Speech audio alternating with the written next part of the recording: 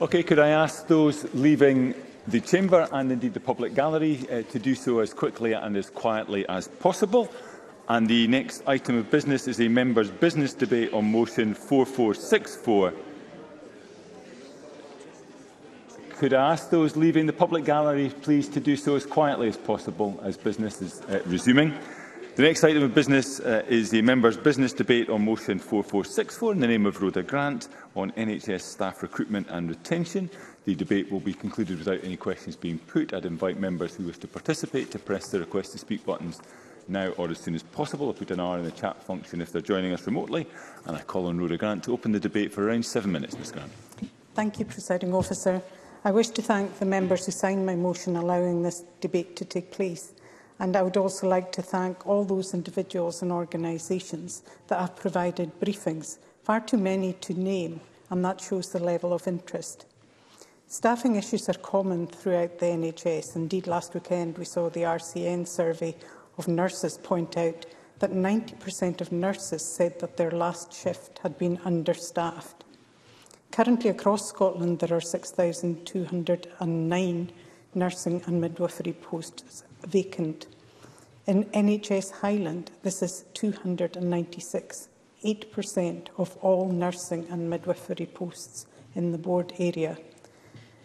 When staff shortages are issues elsewhere in Scotland, in the Highlands we bear the brunt because it's easier for people to change their careers without impacting on their families when they live in the central belt. In the north, we need to attract people not only to move themselves, but also to uproot their whole family, and therefore it's a lot harder for us to recruit. Add to that the shortage of affordable housing, local services and public transport. Therefore, it's no surprise that in NHS Highland waiting times are amongst the longest in Scotland. They're attempting to recruit from all over the world, and it's not for the want of trying that they find themselves desperately short-staffed. Portree Hospital Urgent Care Unit is closed more often than it's open. Home care and care, care homes are desperately short-staffed as well.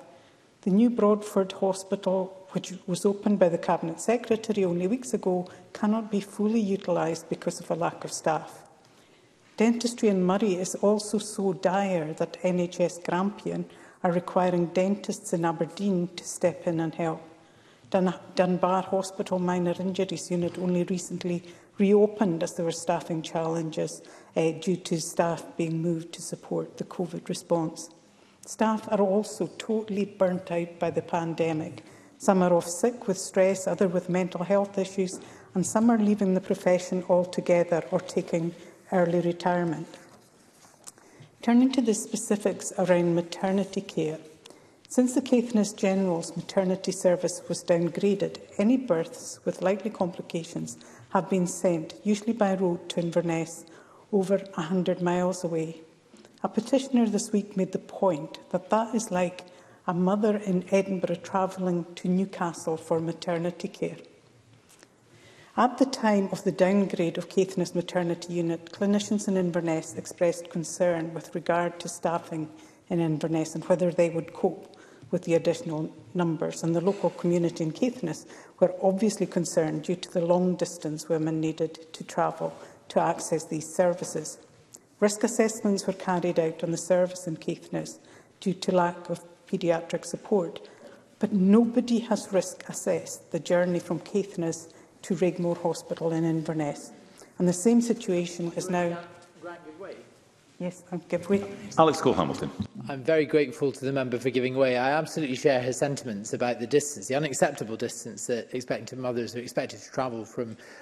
uh, Caithness to Raigmore. She will recognise that a lot of work has gone into a similar situation in Murray and a solution largely found, but no such solution or government time has been devoted to the Caithness situation. Doesn't she agree that that is a crying shame?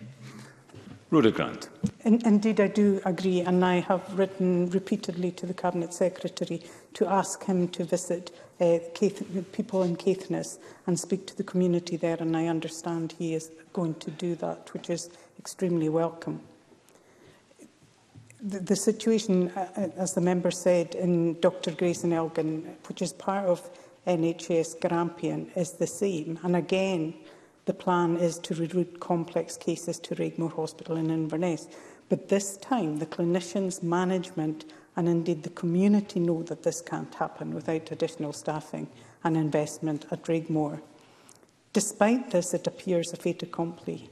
We read in the news of the weekend about two cases, one in Murray and one in the south of Scotland, where babies were born by the roadside. These were births that were deemed too complex to be supported in the local community midwife-led unit Yet it is somehow safer for these babies to be born by the roadside without any support. I really don't believe that. The risk created by this system to mothers and babies is enormous, especially in the winter months. And it puts added pressure on um, paramedics, which is also unacceptable. I beg the Cabinet Secretary to take this risk on board because it should not take a death to prove it. We need to act We need to train more staff in all disciplines, but crucially in maternity, obstetrics and paediatrics. In the Highlands and Islands, we have our own wonderful world-renowned university, a new university at the cutting edge of delivering education and research differently. The university used to run a fast-track midwifery course, and this course was open to nurses, was held close to home and allowed them to enhance their training into midwifery course was building steadily and would have been in place to provide the maternity workforce of the future, albeit draw drawing from already stretched nursing workforce. However, as so often happens, it was centralised to Napier University in Edinburgh. The difficulty this creates is what I alluded to in the opening. People are reluctant to uproot their families to, to further their careers. Therefore, to grow our own workforce, we need to provide that training close to home. Evidence given by NHS Education for Scotland highlighted that midwives are more likely to remain in the area that they were trained. I'm sure this goes for other disciplines. The situation also adds costs to our health boards. Employing a locum or bank staff is much more expensive than employing a full-time member of staff. The use of locums also creates issues for the patients as well because there is very little continuity for them there are also issues in the way we train our professionals. We focus on team working within specialities. What we need in rural areas are generalists able to turn their hands to a number of conditions and they need to be able to work with very little support. We currently recognise a depth of knowledge through career progression and salary, yet those with a breadth of knowledge find their skills unrecognised both professionally and financially. While I've used maternity services to base those points upon, the same is true in other disciplines. Mental health services and Caithness are at breaking point with tragic consequences. GPs are handing back their practices to health boards.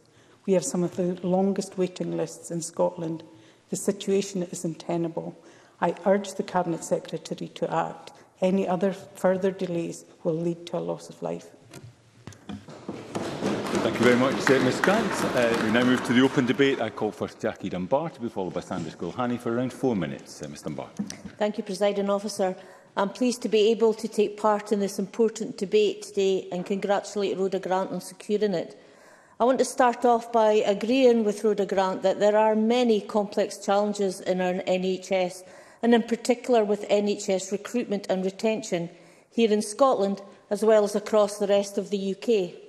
The COVID-19 pandemic systematically changed the way we do healthcare in Scotland, and there is no doubt that the pandemic exacerbated pre-existing challenges in health and social care. It caused staff to change working patterns and practices, adapting to enormous challenges and to hugely demanding environments. Of course, this is going to have an impact on recruitment and retention. That is self-evident. However, what is important is what we do to address these issues, bearing in mind the, the combined impact of the pandemic and of Brexit, which it must be accepted has caused massive barriers to the recruitment of staff to our health service. The challenges cited in Rhoda Grant's motion are not confined to just the Highlands and Islands. We have our own challenges in Aberdeen Donside and across the whole NHS Grampian. Presiding officer, continued workforce supply challenges alongside high levels of vacancies, particular in, particularly in medical specialities, nursing and midwifery, and recent increased vacancies with allied health professions, bring an over-reliance on supplementary staffing across our NHS, including across Aberdeen. The current available supply of staff is insufficient to meet the ever-increasing demands of our health boards. However, there are opportunities to look to alternative supply pathways.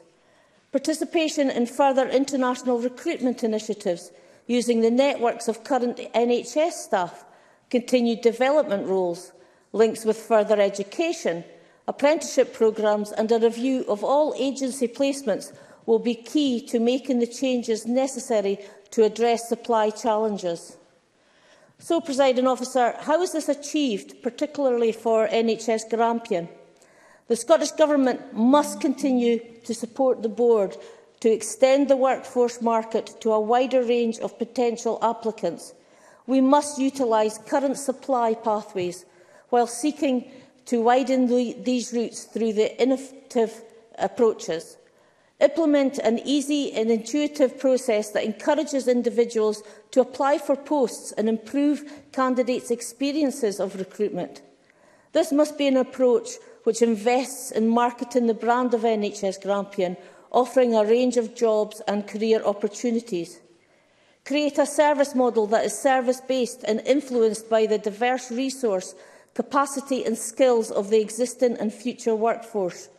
This model must be applied in a way that uses skills, generates effective teams and is efficient, creating a workforce fit for purpose.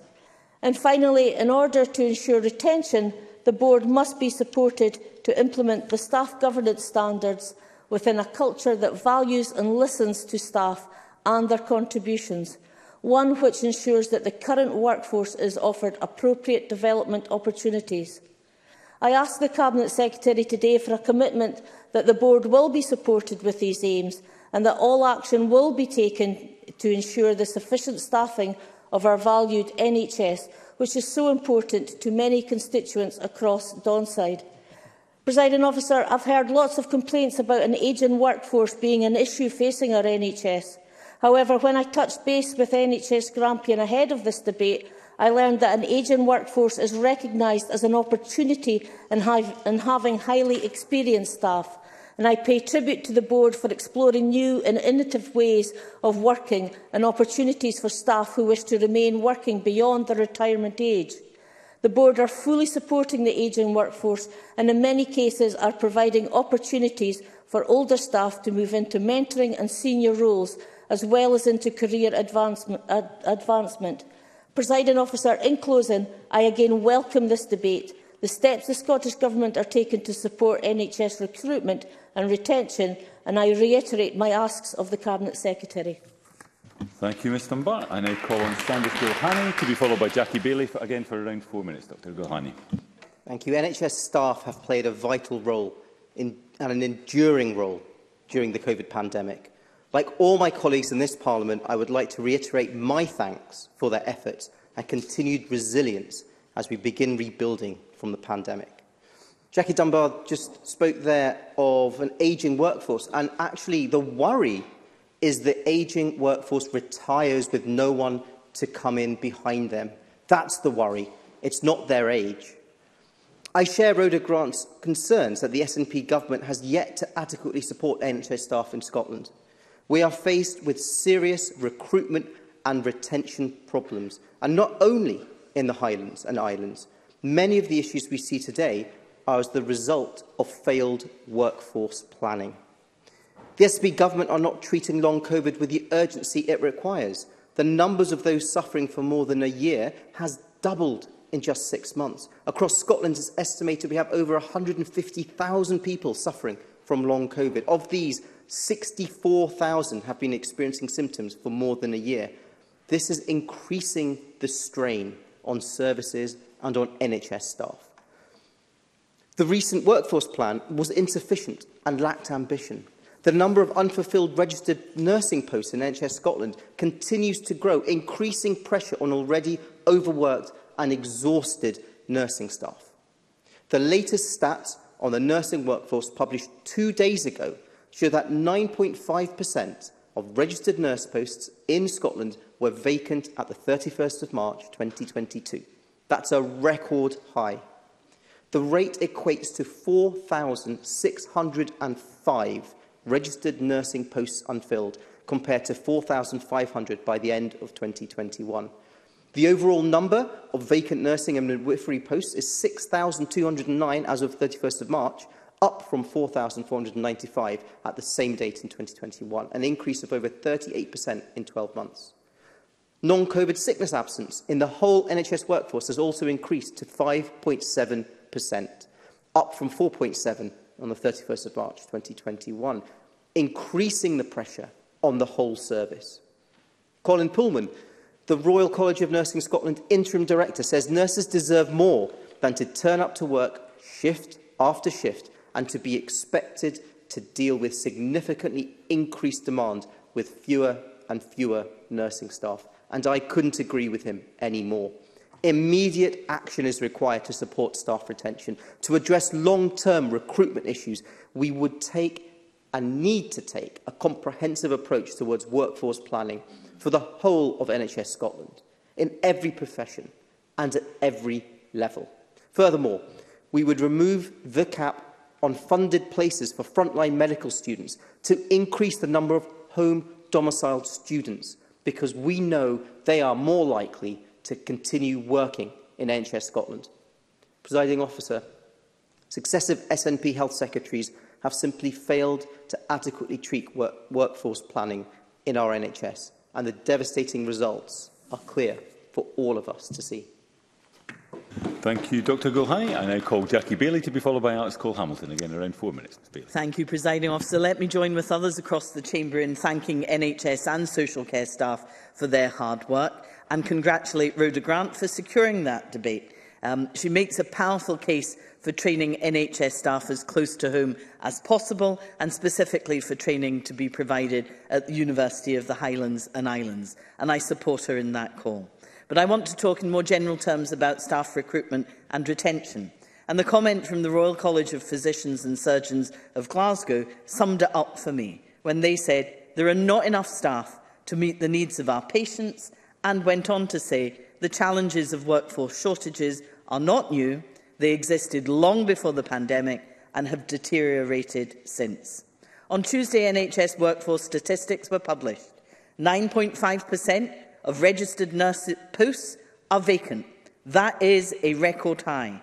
The overall number of nursing and midwifery posts is 6,209 vacancies, up by 38% in the last 12 months alone.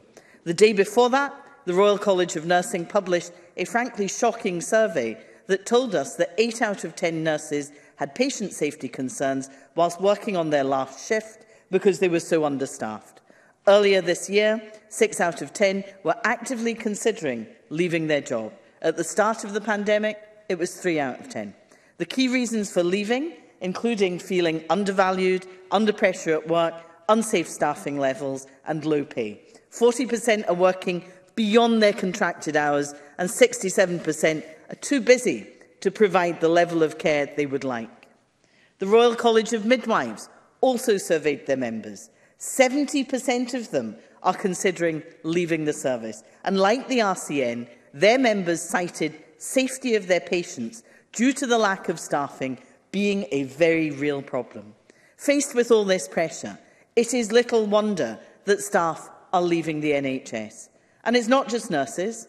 One in five consultants are leaving the NHS well before retirement. They're citing burnout as one of the key reasons. There is a shortage of allied health professionals. There is a shortage of GPs too. In fact, with a GP, their workload is enormous and there are simply not enough of them to cope with rising demand. And whilst I think we would all welcome the government's plan for 800 more GPs, I reflect on the words of Dr Andrew Buist from the BMA that training an extra 800 is not the same as getting them into practices where they are needed to improve access to patients. Getting workforce planning right is critical, but that will take time, so the retention of existing staff must be an urgent priority for the Government. We need to care for them so that they can continue to care for us. But this extends beyond just their welfare, important though that is. We need to pay them better, to recognise and reward their hard work, and that is in both health and social care. We also know that the NHS lacks flexibility Rather than letting 40 years of experience walk out the door, why not see if you can retain their knowledge and skills on a part-time basis? And above all, let's implement the Health and Care Staffing Act of 2019 that everybody in this Parliament voted for unanimously to ensure that there are safe staffing levels. It's been on the statute book for three years and nothing has happened. Now, the Cabinet Secretary says he will publish a timetable by the end of June, and that is very welcome. But a timetable that is vague, that pushes implementation years down the line, will simply be unacceptable. There is a huge crisis that has been unfolding for years, and the Cabinet Secretary is giving the appearance of being asleep at the wheel.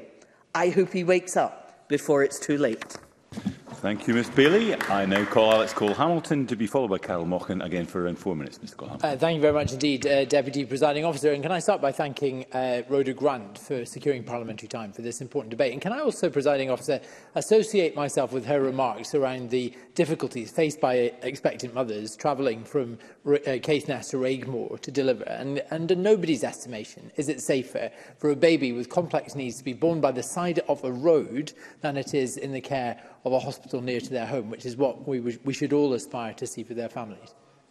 I will to the Cabinet Secretary. Cabinet Secretary. Can I thank Alice Cole Hamilton to, to give way? And I don't disagree actually with his uh, comment a moment ago. Will he recognise though that the decisions taken around Caithness, of course, were themselves because of a very, very tragic case, and actually patient safety was put at the heart of that decision when it was taken a number of years ago. Alex Cole Hamilton, give you the time back. I do recognise that. It was taken a number of years ago. Things have moved on. We need to listen to the community. We need to listen to clinicians and, and actually make things safer for mothers to be able to deliver um, their babies closer to home in Caithness.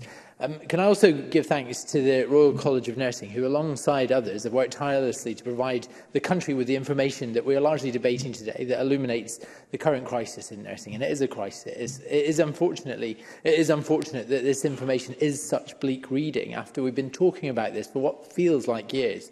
Um, released this week, as we've heard, the last shift survey report has revealed that awful statistic that 90% of nurses or respondents believed that the number of nursing staff on the last shift they did was not sufficient to properly meet patients' needs. Not only is this dangerous for patients, it puts an inordinate amount of stress on staff themselves, as the report highlights, who they, and they sacrifice their own well-being to deliver care that their patients' needs. And as a result, 63% of staff in Scotland surveyed feel exhausted to the point of negativity by the end of that shift. I'd like to highlight this is almost 10% higher than the average UK number. And the daily reality, Deputy Presiding Officer, is dire is quickly becoming, in fact, untenable. Describing their experience in the recent RCN report, one nurse said, and I quote, one day I walked onto my shift and I was on my own in the entire floor. I can't describe how I felt at the end of that shift, emotionally and physically. They go on, something should be done about the staff shortages and fast. Otherwise, nurses will be forced to leave one by one and the few remaining will die of stress and burnout. That reality is particularly stark in remote and island communities. Presiding officer, I think those words speak for themselves. And the reality is that we have passed as a parliament legislation That should not allow them to happen. In the safe staffing legislation we have passed, we have recognised as a parliament that we can't allow shifts to proceed in those unsafe ways, and yet still they do. And the Cabinet Secretary, I welcome the final announcement of a long overdue timetable for its implementation, but we've been waiting three years. And I would reiterate the point I often make, that it is not just about headcount. We need to be sure that every shift has the right mix of skills and experience to deliver patient care safely. As that nurse described, these these unbearable working conditions mean more and more staff are lost to the profession. They will be forced to give up the job that they love, and that potentially puts those off who are considering entering the profession in the first place. This will lead inexorably to fewer staff, putting more pressure on current staff, worsening working conditions like never before. It's a vicious cycle and one that we need to break. This is why the Liberal Democrats have called for the establishment of an NHS staff assembly to learn from the lived experience of staff. And I was heartened that yesterday um, Humza Youssef agreed to look seriously at that. It's also why we have repeatedly called as a party for a burnout prevention strategy, which would implement mental health help for frontline staff supporting them in their job. This plan has been voted down successively and routinely dismissed by this government, including in the same exchange when uh, Humza Yusuf referred to this idea as just being a piece of paper. The problem is that despite the Health Secretary telling us repeatedly about the money being invested into staff welfare, they are yet to produce their piece of paper on how this money will actually be spent towards supporting NHS staff. A burnout prevention strategy is exactly what these people need. And the motion today references training NHS in uh, all areas of Scotland, not just in the Central Belt. Uh, this is something that the Liberal Democrats are fully supportive of. This can't be a postcode lottery. Widespread training programmes are an important step in producing widespread care. This is vital to ensuring our nation's health. I'd like to end,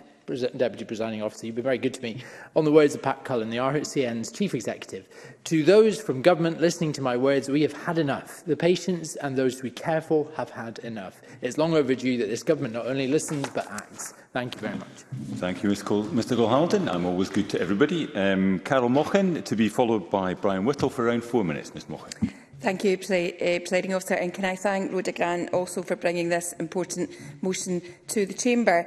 I would like to start by echoing the points made by Rhoda Grant regarding the difficulties of recruitment in rural areas in our own area of NHS Highland. Um, the, the, the, the recruitment is a major concern across the NHS, but is definitely heightened in rural areas. As Rhoda Grant mentioned, the RCN advised before today's debate that in NHS Highland 224 registered nurse posts are vacant, which is nearly one in 10 posts. Um, and this is reflected in other rural areas. Deputy Presiding Officer, that is a significant cause for concern and one that this government ought to take very, very serious and act upon. This is an ongoing issue debated many times in this chamber and raised repeatedly by nursing trade unions. I say it regularly in the chamber, but the Scottish Government cannot take time to pat itself on the back while vacancies remain high across the country and as vacancies remain high, staff remain under pressure and services continue to be strained. This government must consider carefully the ways in which recruitment can be improved and that must include the training of NHS staff close to home. Covering a rural, rural constituency myself, I do hear this time and time again, many of the points made by Rhoda Grant earlier in this debate. We have first-class university and college facilities across Scotland, and it is important that training programmes are rolled out in our rural areas, one such as in Highlands. Um, in my own area, in the Borders, for example, to ensure those who wish to enter the healthcare profession can train and then hopefully take up posts close to home. Moreover, in our efforts to ensure care is com is community-based and available locally, we must also recruit more in key areas and that includes in mental health and learning disabilities, as was referenced in the RCN uh, eh, briefing, to ensure that such services have the staff to meet the demand and that the services can be delivered close to those who rely on them. Um, this helps both patients and staff. Both can benefit from facilities close to home, and this is so important in rural areas. Indeed, Deputy Presiding Officer, we know that recruitment and retention are both very closely linked, has been, has been mentioned across the chamber in this debate. Just last month, I highlighted at First Minister's question discussions with Unison Trade Union that workplace pressures in NHS borders had led staff, staff to report to the union issues, including staffing levels that are dangerous for both patients and staff, and that staff are not receiving proper rest breaks. This is unacceptable, and I know the government have acknowledged this, um, and they say they are going to address this. But on these benches, we have to keep pushing to ensure that this staff stay, safe staff, staffing legislation is enacted um, and, that the, and that the government is taking this uh, seriously. Um, these points have been made in the chamber before, and we must start to enact some of this work. It is a workforce that, that gives us so much to the community um, and to our country, but it often feels that it gets so little back. And so is it any wonder, therefore, that vacancies remain so high and that staff feel under so much pressure? Presiding officer, if we want to recruit and then retain a skilled workforce serving every part of our country, including rural areas, then we must start by alleviating some of the barriers to recruitment of students and we must, we must address workplace pressures uh, currently facing staff, making the healthcare setting an appealing one to work in. Um, in concluding, presiding officer, it is clear in Rhoda Grant's motion today that in the Highlands we have some uh, have seen the removal of a key training programme from local university being moved to a large city in Edinburgh. And it is also clear from the contributions and from trade unions and NHS workforce uh, briefings that the current workforce pressures are significant and putting strain on the ability to deliver the service patients deserve.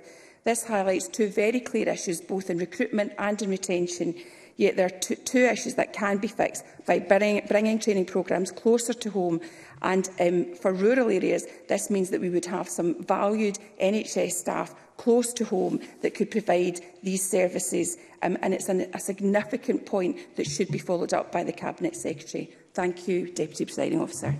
Thank you, Ms Mochan. I now call on Brian Whittle to be followed uh, by Michael Mara again for four minutes, uh, around four minutes, Mr Whittle. Uh, thank you, uh, Deputy Presiding Officer. Can I add my congratulations to Rhoda Grant uh, for bringing this debate to the Chamber? I think she would uh, uh, recognise as well uh, we are, uh, this is not the first time we have discussed such, such issues in this Chamber over the, the last couple of uh, sessions. Um, I want to start with, with back when uh, a, a conversation I had with my daughter while she was at university uh, studying, uh, studying law. She came in and decided uh, and said to me that she actually wanted to change to midwifery. And there's a switch for you.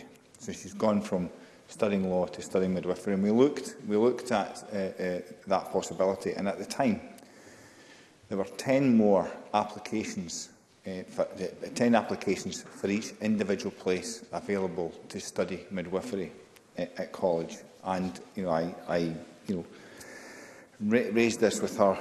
She still wanted to do it, and, and, and on she went, and she, she actually got one of those places. Um, and that actually, I look, I, I, having looked at that, I looked at other uh, other uh, medical uh, professions, nurses and physios, and there's four times as many applications uh, for the number of places that are available. Uh, my colleague uh, uh Sandesh Gohani talked about the cap on medical students from uh, that in Scotland, and, and there's no lack of applications for them. Um, it was mentioned, I think, earlier on that uh, in the last uh, in the last term it was highlighted that we had a shortfall of 864 uh, GPs in in, uh, in Scotland, and the government responded by suggesting they would train a further 800 GPs over the next decade. That failed to take into account, of course, turnover of GPs.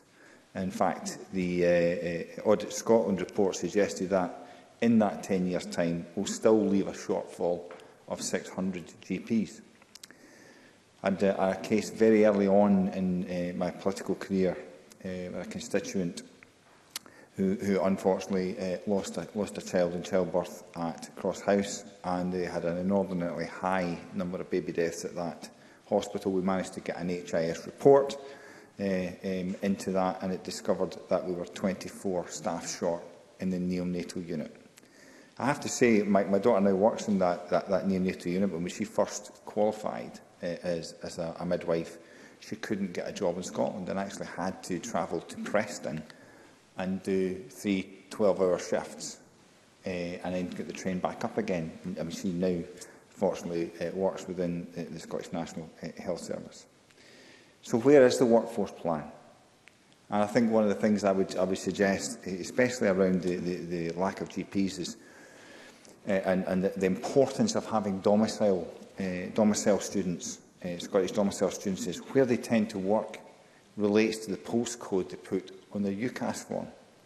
And I think that is, is highlighted in, in Rhoda Grant's motion.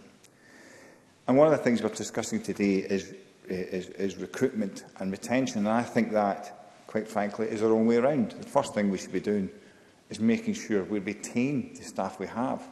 It's, it's trying to fill up a bucket with a hole in it.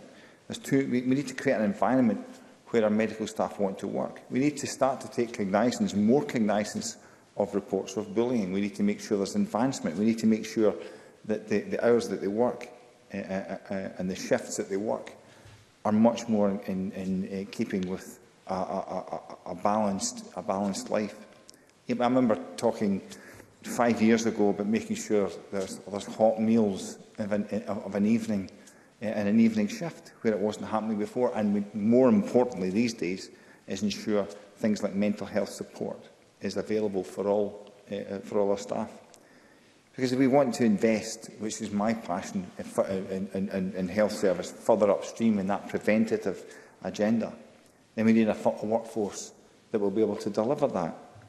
And one of the first things I ever said in here is, is that, that to, to improve the health of our nation, it must start with looking after those who look after us.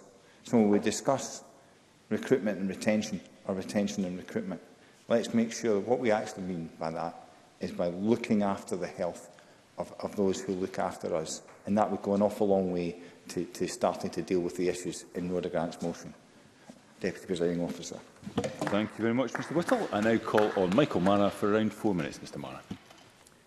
Thank you, Deputy Presiding Officer, and uh, I'll too offer my thanks to uh, my colleague Rhoda Grant for bringing uh, this debate to the Chamber and for the, highlighting the needs of her constituents in terms of not just workforce planning, but the particular challenges that pertain to uh, the population of the Highlands in terms of the dispersed population and the special uh, accommodation of that that must be made if are to ensure that our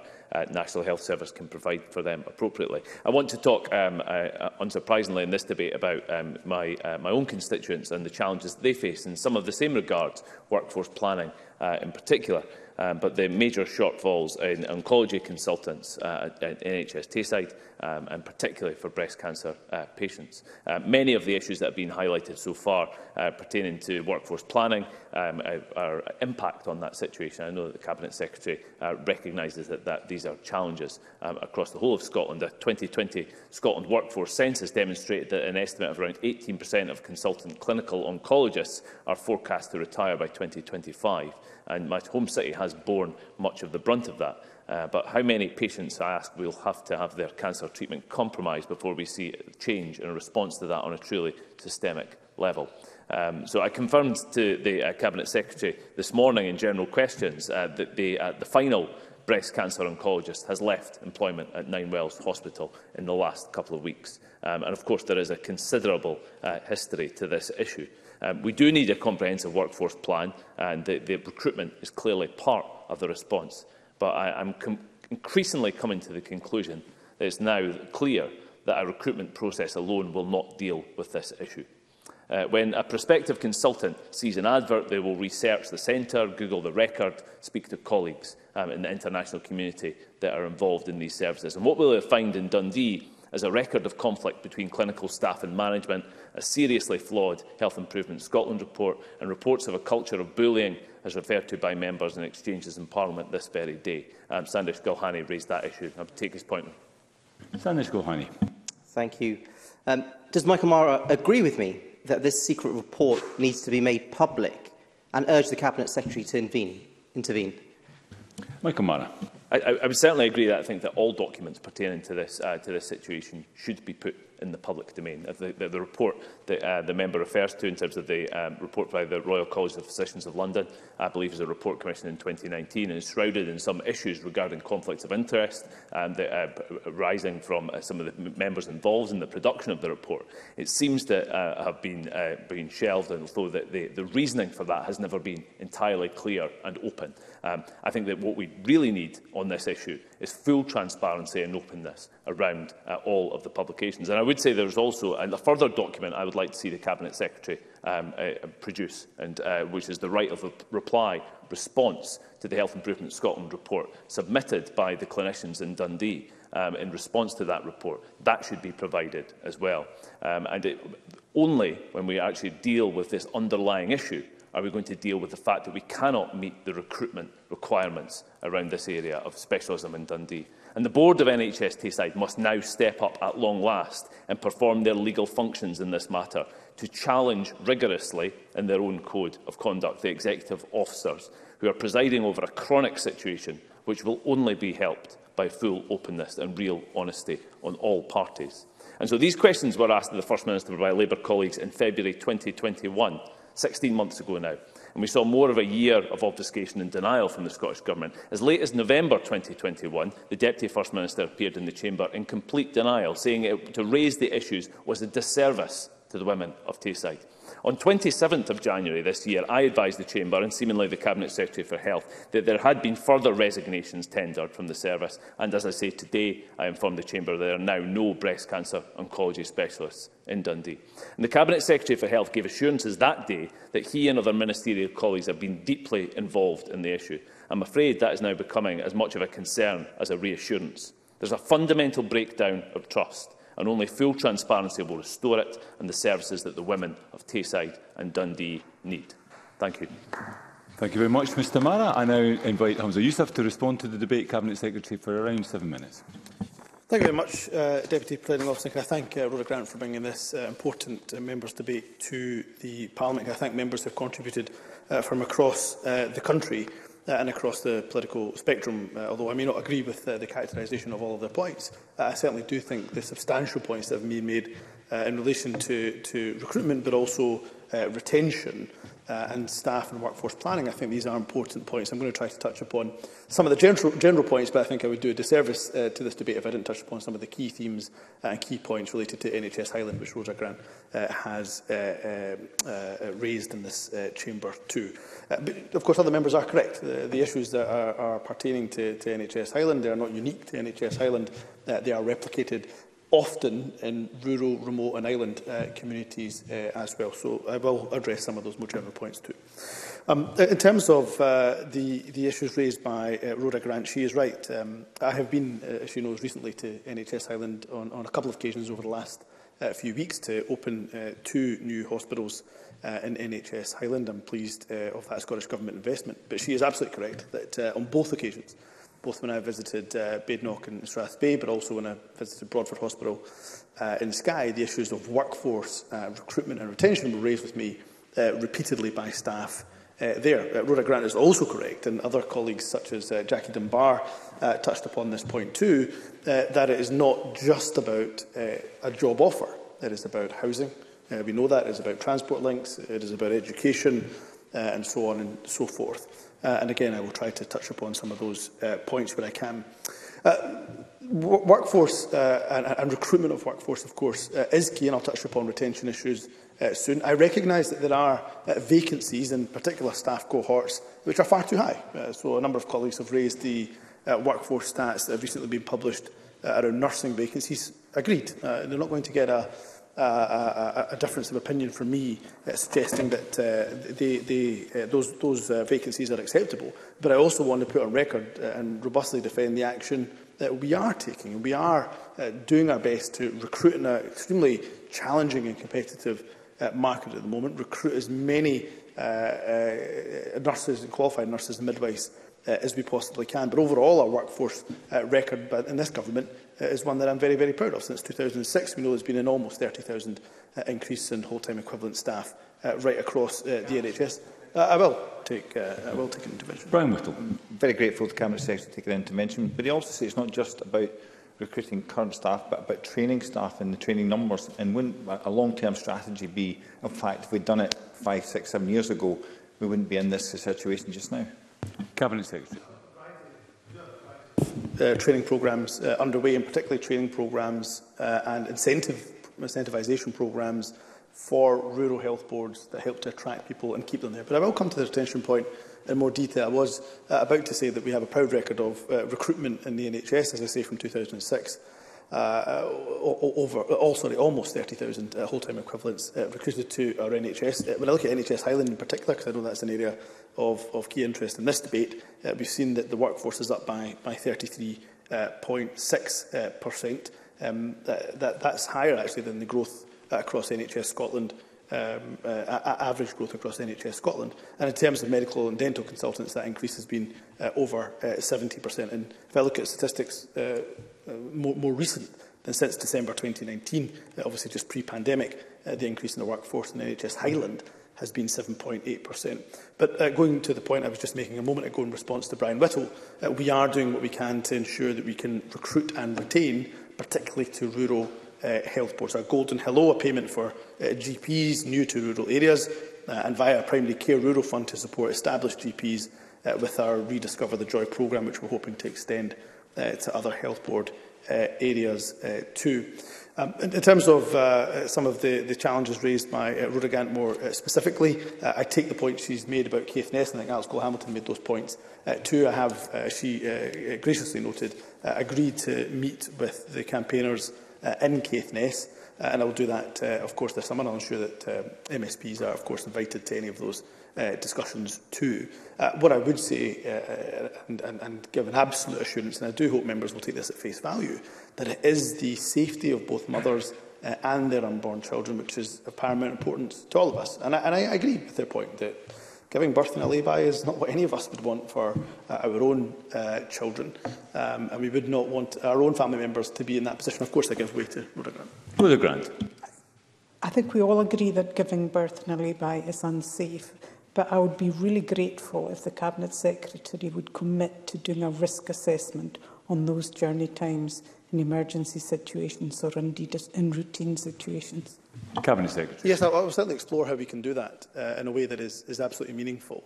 Uh, the point I was, I was just about to make was the point that uh, I made in response or, or in, in intervention to Alex Cole-Hamilton, which we do have to bear in mind that uh, there was a really tragic case, um, and of course the review done into that tragic case which said that death could have been avoidable, uh, and therefore the really difficult decisions around Caithness uh, were, were, were taken. But I, I think Alex Cole-Hamilton's point in response to that, which was that was a number of years ago and uh, things uh, uh, should have uh, moved on uh, from there. And in terms of um, education and training, which I think is a really important point raised by almost every member uh, who has spoken and, and, and mentioned uh, a very personal uh, perspective from, from, from Brian Whittle, uh, we are really keen, of course, to, to try to ensure that uh, we can train the workforce in remote and rural and island uh, health boards uh, where uh, possible.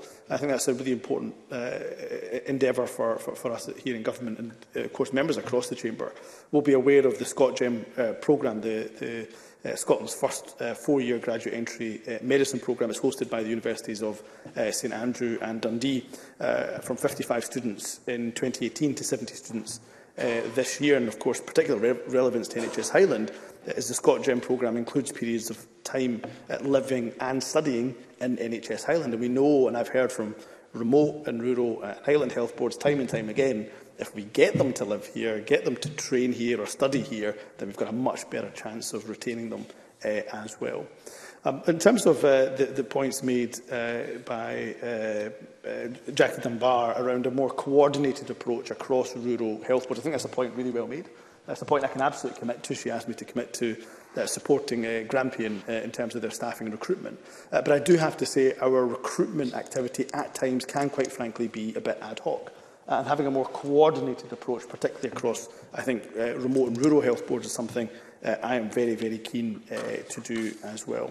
In terms of midwifery training, which again is a key part of the motion uh, that uh, Rhoda Grant uh, has raised uh, today, uh, she was uh, obviously uh, uh she is concerned about um, uh, the, the, the discontinuation of the pilot uh, at UHI. She will be aware of the review that took place uh, into that pilot and into uh, midwifery uh, workforce education uh, that took place by NAES, and, and I think the report was published uh, in March of uh, last year. Um, uh, and she, she, she, can, she can come back to me if she's got any specific points uh, on that. Uh, but it should be said that, uh, of course, it did say that uh, uh, the, the current suppliers that we have, uh, the current institutions that are providing that training, uh, that, that educational opportunity, uh, they, they should continue. Uh, and that's why in, in January of this year, uh, Edinburgh Napier University welcomed students from across Scotland uh, to undertake uh, the new shortened midwifery programme. And in just 20 months, students will qualify while continuing to work in their home regions, including, of course, uh, Northern Scotland's uh, health boards To In conclusion, uh, Presiding Officer, I've outlined we are exploring every possible avenue to improve health and social care by investing in those people uh, that, uh, that means so much to us. And the staff that care for us, they are the people that uh, we have clapped for, we have applauded, uh, and that is why we will invest in them, in their pay, in their terms, in their conditions. But let me also finally say that we will do everything we possibly can to work with our remote and rural health boards, including NHS Highland, to see how we can support them uh, in recruiting and retaining staff uh, for the future. Thank you very much indeed, uh, Cabinet Secretary. That concludes the debate and I suspend this meeting until 2.30pm.